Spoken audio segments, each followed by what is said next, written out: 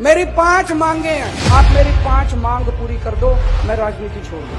मैं यहाँ सत्ता के लिए नहीं आया। मैं यहाँ पैसे कमाने नहीं आया। मुख्यमंत्री बनने नहीं आया। 140 करोड़ लोगों की तरफ़ से आज मैं मांग करता हूँ, पहली मांग। इस देश की शिक्षा व्यवस्था ठीक कर दो। सबके लिए समान शिक्षा का इंतज़ाम कर दो, चाहे राजा हो, चाहे रंग हो, चाहे अमीर हो, चाहे गरीब हो, सबको अच्छी शिक्षा मिलनी चाहिए। दूसरी मांग पूरे देश के अंदर सबके लिए अच्छा इलाज का इंतज़ाम कर दो, चाहे अमीर हो, चाहे गरीब हो, सबको फ्री का इलाज मिलना चाहिए, जैसे दिल्ली में करके दिखाया हम पूरे देश में, हर गाँव में मोहल्ला क्लिनिक खोल दो, दिल्ली में बनाया, पंजाब में कर रहे हैं अभी। सारे देश के अंदर अस्पताल ठीक कर दो, सबका इलाज मुफ़्त कर दो। केजरीवाल राजनीति छोड़ देगा तीसरी मांग, आज महँगाई का इतना बुरा हाल हो गया, इतना बुरा हाल हो गया, महँगाई से घर चलाना मुश्किल हो रहा है।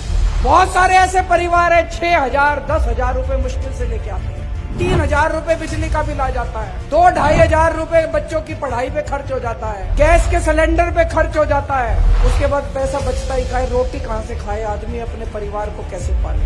महँगाई कम कर दो, केजरीवाल राजनीति छोड़ दे। चौथी मांग, हर हाथ को, हर युवा को रोज़गार दे दो, केजरीवाल राजनीति छोड़ दे। और पांचवी मांग इस देश के अंदर 24 घंटे बिजली का इंतज़ाम कर दो, गरीबों को फ्री बिजली दे दो, केजरीवाल राजनीति छोड़ देगा।